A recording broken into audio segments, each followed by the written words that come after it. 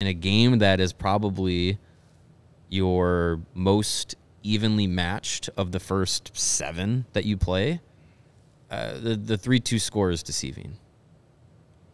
Yeah, it wasn't. Uh, it was an ugly, ugly, ugly game.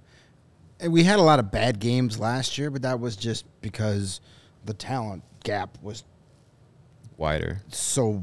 This was a team that, on paper, you're pretty evenly matched up against. Closer to, yeah. and they they whooped your ass up and down that ice all night long. This was the most disorganized I can remember Luke Richardson team being. We, we saw a lot of bad games last year, but we also saw like, you know, good effort. At least you saw what they were trying to do. Tonight was just like it, was like all the guys like uh, when you play like the bubble hockey and you can spin them around. That's what Yeah. it looked like out there. Guys were skating into each other all night Yeah. long. Passes to nobody. Just Running into bad, each other, Bad yeah. plays. you know the power play was just awful, awful. So they gave bad. up just as many shots on goal on the power play as they had, and of course they give up to Shorty.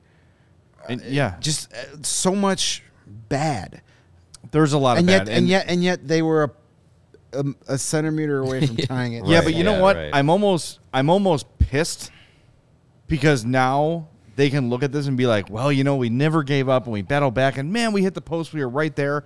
F that. F that. We talked in the pregame about Luke Richardson getting pissed off. If he's not a little bit peeved after this game, I'd be a little bit surprised. The- this team is- went into will- this he game. is. He I. I'm gonna say like expecting to win is not a bad thing. no. But they almost went in like expecting like they were going to laugh Montreal out of the building. They were a completely perimeter team. It was like effing 12 uh, redeemed verbatas on the ice tonight. Honest to God.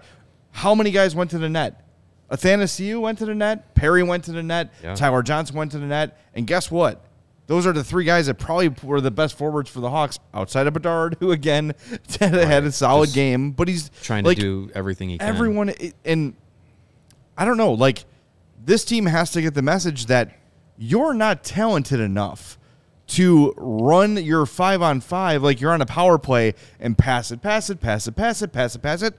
Go to the net. When you go to the net, that's when they've had success. This team had exactly zero high danger chances through the first two periods. They didn't generate a single high danger scoring chance. And you- That's almost impossible. We